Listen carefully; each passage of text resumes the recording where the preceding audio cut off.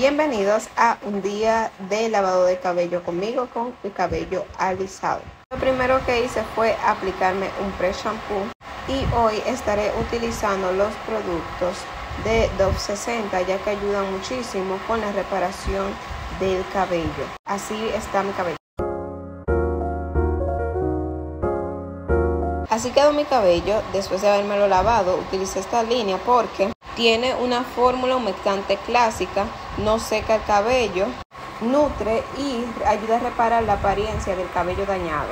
Yo voy a estar dejando el conditioner para hacer unas diligencias y después de ahí optar por ir al salón de belleza.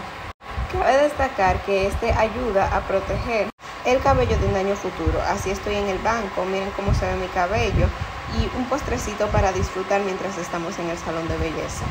Y ahora sí, como diría Juanita, vamos a hacer unos rolos dominicanos para esterilizar ese cabello y que se maltrate lo menos posible, siempre utilizando protector térmico. Un poco de paciencia no caería nada mal y mucho menos con los rolos. Te recomiendo que hagas rolos en tu cabello ya que ayuda a que tu cabello esté más fuerte, evita el quiebre y te ayuda a tener tu cabello más fuerte.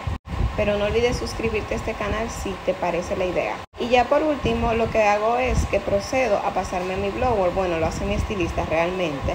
Y así se ve mi cabello después de un pequeño blower por delante y este es el resultado final. Y si te gustaría ver más contenido como este no olvides suscribirte a este canal, dejarme un like y nos vemos en la próxima.